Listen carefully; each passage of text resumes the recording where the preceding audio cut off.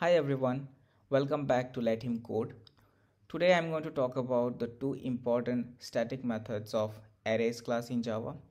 The first one is the sort method and the other one is the copy of method. Now to begin with, we have a arrayscore.java file and we will write our code inside this. So I'm using this atom editor. You can use any other editors of your choice. So let's start coding. Let's create a new class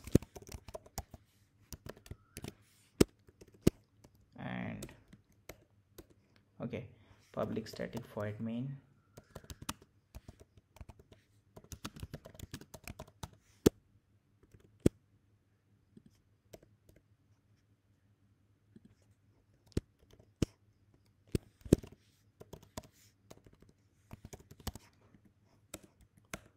Now before talking about the sort method let's create an integer array of with some random values some unsorted values int arr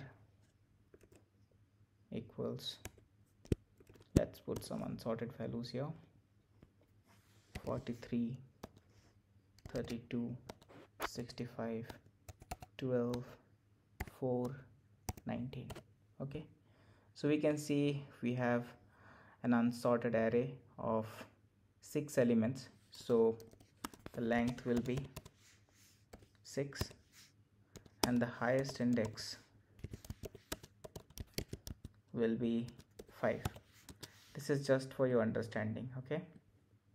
Now what if I want to print this array? I mean print all the elements of this array. I need one more variable int i equal to 0 and we'll create one while loop while i is less than array's length then.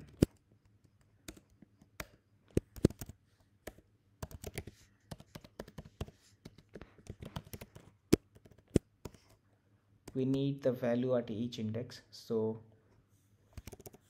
let's keep it i here. And yes i will increment every time. Okay now we save it and let's run it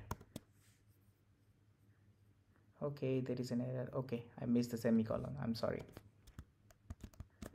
Yeah let's save it again and run it. So we can see all the values have been populated here. 43 32 65 12 4 19 okay so this is the same way this array is here. So it's not sorted yet right? So here comes the sort method like a superman arrays dot sort. And the parameter inside this will be the variable we use to declare this integer array. So here it will be arr okay? Now let's save it and let's again run it. We get an error saying arrays is not recognized. Okay. We have not imported the util package from where the arrays class is coming. So let's import it. Import java dot util dot arrays. Okay. Now let's save it and run it. Yes. Now once we have used this arrays dot sort now we can see these values are sorted in an ascending order right? So this is how we are using sort method in array. So let's talk about the other one I mean the other array. Sorry the other method we are talking about. That is the copy of method. So how how we are going to use that copy of method and when do we actually need that copy of method? We know that once we declare any array we cannot increase its size or we cannot add any other element inside this right? Unlike array list we cannot add add, add elements in array right? So what we can do is we can create a new array. We can call it uh, copy okay? And we can we can tell the compiler that from this point when the 19 ends I want to add few more elements in the array and I want to store it in the copy array.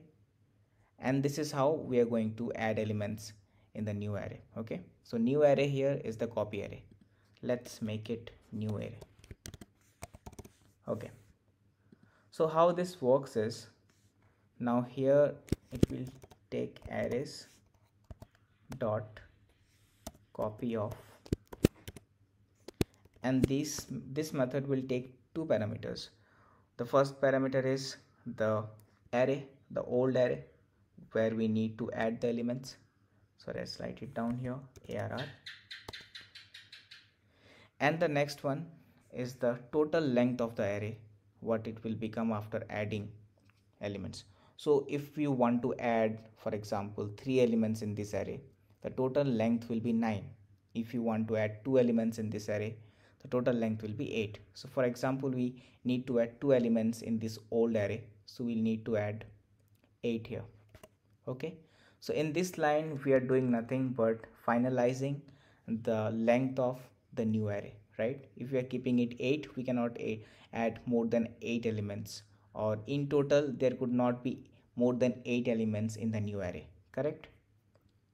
Let's now add this two elements here. So the index in which these elements will be stored is the sixth index and the seventh index because the total length is 8 so let's put there. So new array 6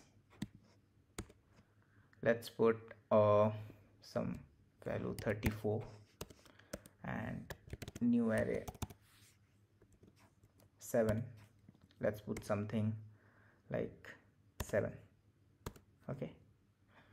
So now we have added these two elements in the new array. Okay. And we are not thinking about sorting right now. Okay let's let's try to print this array. So here it will be new arrays length and here also. Let's save it and let's run it. So we can see that two new elements has been added in this old array 34 and 7 like this. Now what if we try to add one more element? Let's see. New array 22 so we don't have much space here. We don't have space at all i mean. But still i'm trying to add. Let's see what happens. Let's save it and let's run it. See we have an index out of bound exception which was expected correct? So we cannot add more elements if we have not declared this length before okay? So we need to keep that in our minds. So let's remove this and save it and let's run it. So the array is printing correctly. Okay. Now if you want to sort it we can sort it like this.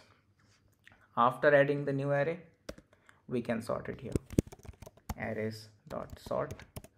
And we are now trying to sort the new array. So we'll keep new array as a parameter here. Okay. Let's save it. Let's run it we can see the new array has been created and it's already sorted. That's it for this video. If you like it put a thumbs up and share this with your friends. Bye bye see you in the next one